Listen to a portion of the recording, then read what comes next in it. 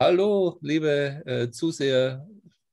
Das ja eine ganz tolle Geschichte. Wir haben das Jahr unsere Mitgliederversammlung und den Tarot-Sonntag diesmal elektronisch. Wir können leider nichts tagen aufgrund der Corona-Pandemie, aber wir haben uns natürlich ganz tolle Sachen einfallen lassen und eins davon ist, und da freue ich mich persönlich, ganz toll, ein Interview mit Ernst Ott. Mein Name Rohe, ich bin Sekretär vom Tarotverband und mit im Orga-Team. Hallo Ernst, guten Morgen. Hallo Rohe, alle, alle Zuschauer und Tarot-Fans, hallo. Ja, ich bin sehr, sehr dankbar, dass das geklappt hat, dass wir heute ähm, hier gemeinsam das Interview führen können. Und ähm, ich freue mich besonders, wir haben ja, äh, wir kennen uns seit der ersten Mitgliederversammlung in, in München damals noch im Labus Lazuli, in dieser kleinen Steinbuchhandlung und natürlich dann an anderen. Du warst ja auch einer der äh, Referenten am Internationalen Tarot-Kongress in Hamburg 2009, wo ja, du einen ja. sehr tollen, äh, von dir eindrücklich gestalteten Vortrag gehalten hast, der mir noch sehr im, im Gedächtnis ist, wo du da auf der Bühne mit deinen Utensilien äh, die Zuschauer ähm, gefangen hast. Ja, Ernst, ähm, du bist Gründungsmitglied, du bist das, und da freue ich mich besonders, du bist das männliche Gründungsmitglied, das noch im Verein ist, das äh, noch dabei ist. Und ähm, mich würde jetzt so interessieren, als äh, Kartenleger, als Interessierter, wie bist denn du zu den Karten gekommen? Ähm, ohne ein spezielles Schlüsselerlebnis. Ich habe vor, vor Jahren, im letzten Jahrtausend, also äh, Astrologie und viele andere Künste entdeckt, dass Damals gab es in den Buchhandlungen die Esoterikabteilung. Da bin ich auf ein Tarot gestoßen, habe mir äh, Karten gekauft und relativ bald gemerkt, einfach das Spiel mit Symbolen und Bildern, das, das liegt mir, das ist meine Sprache und habe dann so laienmäßig gelesen und das ist wahrscheinlich auch die ersten Legungen Karte gezogen und dann im Buch nachgeschaut, wie das ja Einsteiger oft machen. Aber ich kann mich jetzt nicht erinnern. Das hat mich einfach begleitet durch verschiedene Versuche, auch beim Selbstständig machen. Und es ist einfach, Tarot ist nebst Astrologie das Einzige, was ich wirklich kann und hat mich durch all die Jahrzehnte begleitet. Ja, auch erfolgreich kann. Ich habe mich äh, äh, noch ein bisschen schlau gemacht über dich äh, in unserer Bücherwand. Und da habe ich Bücher gefunden, die du äh, äh, geschrieben hast. Eins, was vielleicht für die Zuseher besonders interessant ist, heißt Astrologie, Astrologie mit Tarot. Jetzt ist es natürlich mit dem Hintergrund ein bisschen lustig. Äh, eines äh, der Bücher, die für Tarotisten interessant ist, die dann ein bisschen über den Tellerrand drüber gucken wollen. Ein anderes, ja, vielleicht erinnerst du dich noch, das war einer deiner ersten Bücher, habe ich gelesen, das steht auch bei uns in der Bücherwand, Lebensweganalyse. Also nicht nur, du hast noch andere geschrieben, aber das sind die, die uns besonders wichtig sind und äh, die haben da auch schon einige Ecken drinnen, weil wir sie immer wieder angreifen und drin lesen. Also das mit Astrologie, mit Tarot, das hat so eines dieser Bücher über die Kombination dieser zwei Künste, weil ja fast alle Tarot-Experten auch offen sind für Astrologie und umgekehrt. Und da habe ich versucht, eine intelligente Kombination dann darzustellen.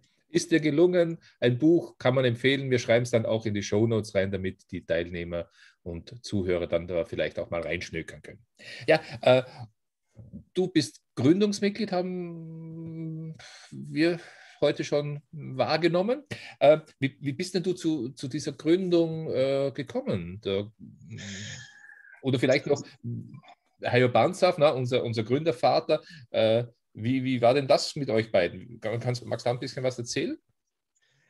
Ich habe ihn gekannt natürlich von, von Kongressen, von Vorträgen. Wir haben uns einmal die Hand geschüttelt, hatten aber keine äh, besondere Beziehung und auch, äh, aber irgendwann, als der Tarotverband schon so ein bisschen auf den Schienen war, also die Vorbereitungssitzungen, ähm, irgendwann hat, hat mich Hayo dann angerufen und gesagt, willst du da nicht auch mitmachen? Ähm, und dann bin ich zu noch zwei, drei, vier Vorbereitungssitzungen die waren immer bei, bei Hayo und Brigitte und man wurde immer bewirtet. Also das, das war immer so. Das war immer so äh, ja, ja, Stier, also Stierprinzip habe ich dann auch gedacht. Man wurde immer bewirtet und das war eine sehr schöne Zusammenarbeit. Wir haben alles Mögliche gesprochen, aber Prüfung und so. Ja, und so war ich dann einfach sozusagen vorgesehen in diesem relativ kleinen Kreis, der sich ja dann in der Schloss Nymphenburg getroffen hat oder daneben. Ja. Schön. Ähm, wir haben ja das ja bedingt durch äh, äh, die letzte, das letzte Jahr, wo eigentlich ja, kein Tarot-Sonntag stattgefunden hat, das Thema mitgenommen. Äh, und das heißt, das ja wieder mit Tarot zu den Sternen greifen. Ja. Der Stern ist ja so eine, eine der ja, Mastermind-Karten im, im Tarot. Ja. Was ist denn da ja. für dich so, wenn, wenn wir uns die Karte so ein bisschen vor Augen halten? Also weißt du, wenn du sagst, äh, mit Tarot nach den Sternen greifen, äh, da ist ja wirklich der Stern drauf, genau genommen die Sterne. Und ähm, ich habe schon eine besondere Beziehung zu der Karte. Also die meisten Leute mögen die, da geht mir einfach aufs Herz auf, aber äh, weil sie natürlich in gewissem Sinn meine beiden Hauptrichtungen verbindet. Astrologie ist ja doch nun die Deutung der Sterne. Und es sind übrigens in fast allen Tarotdecks ich halt mal den Stern von, wenn man das sehen kann, weil er so goldig schimmert ist, der speziell okay. von dem Oswald Wirth Tarot 1889. Und es sind in allen wirklich guten Tarotdecks sind immer sieben Sterne, gemeint die sieben Planeten unseres Sonnensystems, also die sieben sichtbaren Planeten, schon immer da waren. Und ein zentraler Stern, der fast immer für das Ganze steht, den Kosmos, auf dem zwölfstrahligen Tierkreis. Also da ist schon ein Bezug zum Himmel, jetzt nicht im Sinne von äh, ein bisschen aufs Fernrohr, sondern zu diesem astrologischen Himmel auch. Und mich hat auch sehr bewegt, jetzt halte ich noch eine Tarotkarte in die Luft, Ausdruck, dass bei den ältesten Tarotdecks äh, das sehr oft, in diesen Visconti-Tarotdecks und so, äh, der Stern der Hoffnung ist. Ja. Anders aus. Die ist, ah, so, die ist nicht so, so nackt wie heute ähm, und hat ein mit Sternen betünkteltes Kleid und ist halt so eine Renaissance-Figur, die man damals gemalt hat, ähm, und greift tatsächlich nach einem Stern. Also sie greift und wird, wie geht das so rum, ja. greift wörtlich nach ja. einem Stern mit, mit einer Hand. Wo man vier Finger denkt man jetzt so eine, wie eine Gruß, also ein Gruß an den Kosmos und an das Höhere und, und ein, ein, ein starker Daumen, ein willensstarker Daumen. Also versucht wirklich den Stern zu, damit es keine Hybris nicht zu ergreifen, sondern zu begreifen. Ja, ja, ja. Sie orientiert sich am Stern und der Titel ist La Speranza, Hoffnung. Stern der Hoffnung. Hoffnung ist Stern, Sterne sind Hoffnung. Guckt Liebeslieder an oder was auch immer. Hoffnung gleich Stern.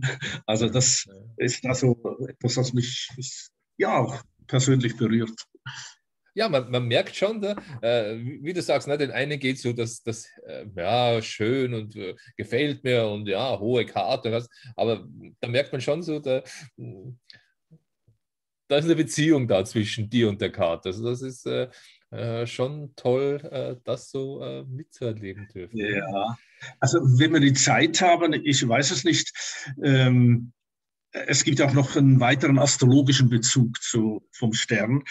Ähm, ich finde, der gestirnte Himmel äh, ist von alters her Uranus. Uranus ist der gestirnte Himmel, der Planet, der äh, in der Mythologie über den Himmel regiert und der ja nun auch dem Wassermann zugeordnet ist. Wassermann, Uranus, Sternenhimmel, äh, Bezug zu den Sternen. Urania ist die Muse der Sternkunde und Uranus ist auch der Planet, der eben ähm, unseren Berufsstand sozusagen beschützt, so wie ein Heiliger, nämlich äh, das Deuten von etwas Höherem. Und egal, ob man die, die Sterne das Horoskop nimmt oder ob man dieses, diese weißen Symbolbilder nimmt, es ist etwas Höheres, etwas Symbolhaftes, etwas Geistiges und wir übersetzen das, wir deuten es. Also Uranus ist der Gott der Sternkunde. Und der Uranus hat nun, ich bin dann gleich fertig mit. Ja, ja, hat in der auch ein, ein, ein spannender Aspekt hat in der Astrologie schon, also diesen, diesen positiven Aspekt, äh, jeder Stern ist eine Idee, ne, der regelt andauernd Sterne runter, alle Inspirationen, die wir haben, kommen von Uranus-Wassermann-Prinzip, oben. Aber er hat in der Mythologie auch etwas Kaltes. Also er betrachtet die Welt immer von ganz weit oben. Er hat diese erkennende Distanz, ja. aber er ist nicht sehr emotional. Also er kann auch sehr kühl sein, sehr, sehr, na, ach, das gebe ich nichts an, da will ich mich nicht einlassen, ich will keine Emotionen, ich will mich auch sogar auf die Realität nicht einlassen. Das sind so die Gefahren des Uranus-Prinzips. Also eine kühle Sternenweisheit. Und seit dem Quattrocento, seit der Renaissance, der Erfindung des Tarot, gibt es eben einen weiblichen Uranus. Uranus ist etwas sehr Männliches, auch im Sinne von patriarchal. Und gerade in der Darstellung ist sie wirklich sehr, sehr weiblich. Und sie steht auch unter Sternenideen, aber sie kann auch mit Wasser und Erde umgehen, mit den weiblichen Elementen. Cool ist sozusagen ein Uranus ohne seine Gefühlskälte oder ist wirklich eine, die die Sterne herunterbringt und eben auch etwas Seelisches, etwas Warmes hat in dieser klaren Sommernacht. Also das sind so meine Gedanken zum Stern. Schön. Schön. Ich finde, das, äh, das muss raus. Das muss, das muss gesagt sein. äh, ja, danke schön dafür. Ähm, wir wissen ja, weil wir äh, alle so äh, internetaffin sind und äh, uns da immer so informieren, beim Dr. Google sage ich immer so schön, ähm, dass du noch andere Hobbys hast. Ne? Du bist ja nicht nur äh, unterwegs mit einer sehr erfolgreichen Tarot-Schule in Karlsruhe, sondern du hast ja auch noch andere Hobbys. Naja, gut, also nebst der Astrologie, ne? ja, ja, ja auch ein Hauptberuf ist. Also ich, ich komme ich komm schon von der Kunst und der Kultur her sehr. Ja. Also ursprünglich komme aus der Schweiz, wie man hört. Ähm, aber bin auch seit 40 Jahren Bundesbürger. Ähm, ja, und also für mich war Musik und, und Kunst und Kultur sehr, sehr wichtig. Von daher hatte ich auch einen gewissen Umgang mit, mit dem Thema Bildern und mhm. Musik wie als Schwingungskunst. Also lange bevor ich mich auf diese spirituelle Dinge eingelassen habe. Und mir hat schon, ich verdanke meinen astrologischen Lehrern, meinen Tarotlehrern, Hayo Wanschaff und vielen anderen schon viel, aber ich habe fast genauso viel gelernt, einfach von der Betrachtung der Kunst, also von der Art, wie Künstler eben es fertigbringen, etwas Geistiges sozusagen rüberzubringen oder aus einem Bild äh, etwas, etwas machen, was einem direkt berührt, was Lebenshilfe ist. Und letztlich ist das, was wir machen, ja, das Fremdwort heißt Hermeneutik, ne? mhm. Kunst des Hermes Merkur, der eben einfach äh, übersetzt, ein Übersetzer von mhm. Bildern, Symbolen, geistigen Inhalten. Ja. Also, du machst ja auch Reisen, wenn wir, glaube ich, bei dem Thema Kunst sind. Ja. Äh, das Jahr sollte es in den Süden gehen sofern das möglich ist? Ja, also die astrologische Romführung ist eine ganz große Herzensangelegenheit von mir.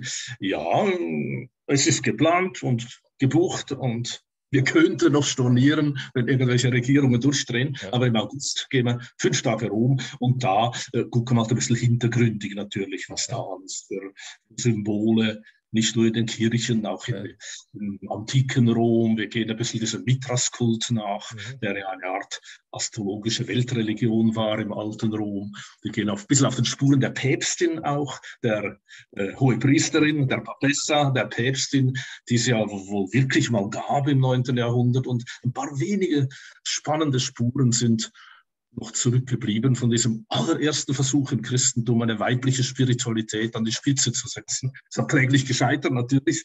Bis heute sind ja Frauen nicht priesterwürdig, aber das sind alles schon spannende Dinge, weil Tarot und Astrologie natürlich keine Religion sind, aber doch ähm, spirituellen, individuellen Zugang zu hören bieten. Und Tarot ist eben per Definition nicht patriarchal. Das ist wirklich eine, ein Spiel mit gleich vielen Männer wie Frauen und es gibt weibliche Spiritualität, es gibt eine weibliche Päpstin, was damals revolutionär war auf den Karten. Und das sind dann auch so Themen von dieser astrologischen Romreise. Ja, schön.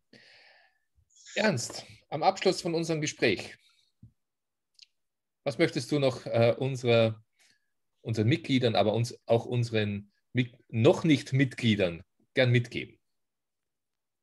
Ja, zieht Karten und lest nicht so viel Bücher dazu, sondern assoziiert selber, lasst euch in die Karten ein, redet mit ihnen, freut euch drüber. Weil die Karten, also zumindest die meisten Decks, also gerade so die Klassiker, das Pamela Coleman Swiss Deck, finde ich einfach das praktikabelste, wo auch jemand, der nicht schon großes Wissen hat, diese Szene angucken kann, staunen wie ein Kind oder wie ein erwachsener Mensch, den ein, ein Geschenk gemacht hat, weil man ist plötzlich mit einer Szene des Menschseins konfrontiert. Man ist irgendwie selber auf der Karte, aber es ist durch die märchenhafte Form doch ein bisschen verfremdet. Das ist ein unglaublicher Spiegel zur Selbsterkenntnis. Und manchmal haben wir unmittelbar erste Ideen und die sind oft wertvoller, als was in den Büchern steht. Und von daher würde ich einfach sagen, die Freude an den Bildern ist wichtig. Und na, dann sage ich noch was, den kollektiven Wunsch. Ich habe das schon in der, bei der Gründungssitzung damals, erinnere ich mich mal kurz eingebracht. Ähm, es gibt bei der UNO oder der UNESCO, ich weiß gar nicht mehr, das ist Weltkulturerbe. Und es gibt auch die Abteilung immaterielles Weltkulturerbe. Hm. Ich finde, diese Schöpfung der Renaissance und der Neuzeit, die, das System des Tarot, ne, obwohl es auf vergänglichen Pappkarten ist, ist wirklich ein Weltkulturerbe, ein allererstes Kulturgut des Abendlandes, um jetzt ein bisschen bürokratischen Weg macht, das anerkennen zu lassen, aber dass wir diese, dieses Bewusstsein doch auch haben. Wir gehen hier mit einem abendländischen Kulturerbe um. Mhm. Herzlichen Dank für das Interview, lieber Ernst. Ja, ähm, gerne. ich äh, möchte mich bei dir bedanken für deine Zeit und äh, ja, liebe Zuseher, ich danke dir, Roe, und wünsche uns allen das Beste mit unseren Karten. Ja, danke schön. Und äh, euch äh, wünschen wir weiterhin viel Spaß beim Tarot-Kongress, diesmal aus dem virtuellen. Tschüss.